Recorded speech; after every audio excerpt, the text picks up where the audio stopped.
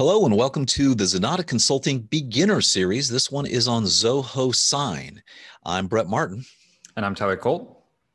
Let's get right into it. So, uh, Tyler, Zoho Sign, we're going to cover a few things uh, over this series, but the first one we're going to start with is pretty much how to set up a template. We get asked about this a lot. It's really a simple process. You just click into templates when you're in Zoho Sign and then go ahead and click on create a template. It's then going to ask you to upload your template here, put some sender information in, those kind of things. We're going to cancel this because we've already kind of set one up. We don't think we need to bore you with this. So we've got a W-9 template here. So let's say you've got an independent contractor and you want to hire one. I'm going to kind of mimic the process we would go through by creating a new template just by hitting the edit button. Yeah, so a couple things to kind of take note of on our template page here. Up at the top is where you're going to load in all of your various documents going to want to have those PDF formatted to upload.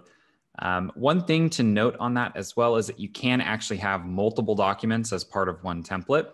Um, so they'll kind of be signed in order when the person pulls it up. But so if you have a couple different documents for onboarding, you can actually do all of that in one uh, request for signature.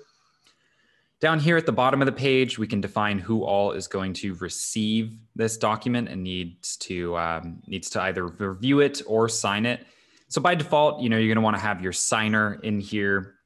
Uh, on the right hand side of the page, you can determine what action they need to take. So this person, for example, needs to sign. All the way over on the right hand side, we can go ahead and add a new recipient. And so in this case, this is often where you might want to hard code something. So maybe want to say Brett needs to sign these on behalf of Zenatta. So, you know, you could add a role for internal signature or something along the lines of that. And then you could actually just say, you know, who this is that's going to sign it by hard coding in their email and name. Um, so oftentimes, you know, you're going to want to countersign things. And so that's a quick and easy way to uh, set up the system to do that. Um, one thing to note as well is over on the right hand side, if you click on needs to sign, you can actually just determine different actions someone should take. So, you know, you could say they just need to receive a copy or they just need to approve this before it goes out. Um, so you're kind of able to build a little workflow into the process when you're sending out a template.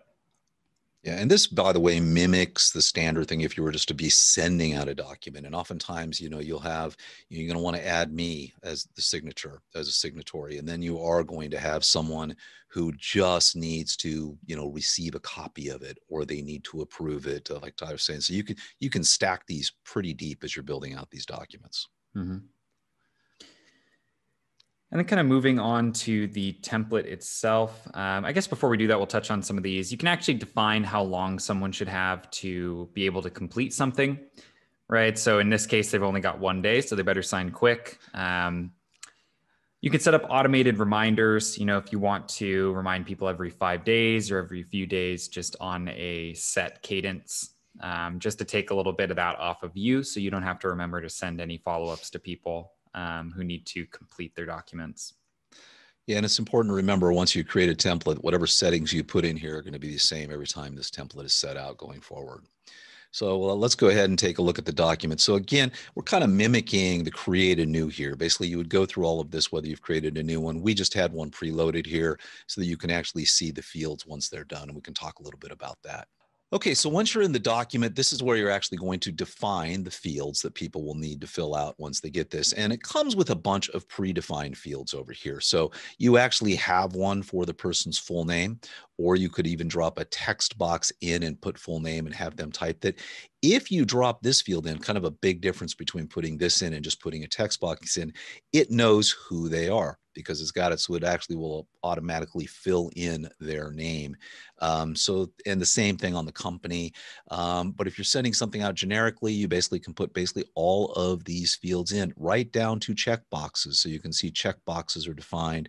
And this is really just done by dragging this field over to a certain spot on the page and that's where the checkbox is going to be. So you can kind of see there it is. That would be a checkbox and where it would appear on the page. You can give it a name, who has to sign it, is it required, is it read only, do you want it to be pre-checked, in which case it's going to have something that can have pre-check, give the field a name as to what description it is. So there's just a lot of granularity you can do as you go ahead and you start to uh, lay out uh, these basically sign fields. Mm-hmm.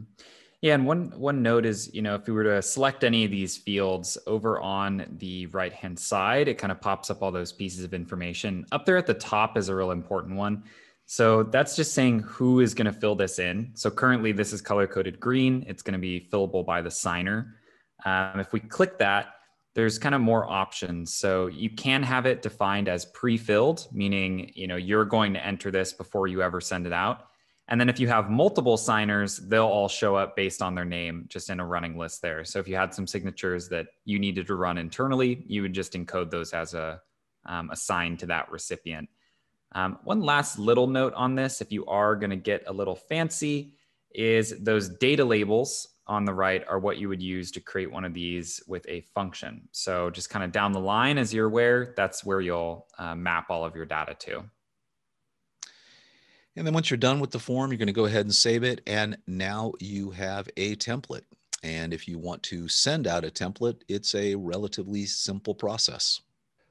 So all you're going to do is basically go into your templates library where we are and then click on the form itself. And this is going to bring up a quick send. So you can go ahead and drop the email and the name of the person who is going to be the signatory add in your notes and go ahead and do a quick send and away it goes. You also can do bulk recipients, which is kind of nice. You can uh, just kind of upload a CSV file that has everybody that's going to get this. So, I mean, if you were doing a mass hire of 1099 uh, contractors, independent contractors, you needed 50 of them to fill it out at a time, you could actually go ahead and upload the CSV, into a bulk send and it would all go out. But it's a really, really simple process to go ahead and send out these templates once you've got them made. Uh, and that is Zoho templates inside of Zoho Sign. Thank you so much for watching our videos and tuning into our channel. We hope you found this useful. And if you did, please make sure to hit that subscribe button and click the bell so that you get notified anytime we put out any new videos. Thanks again for watching.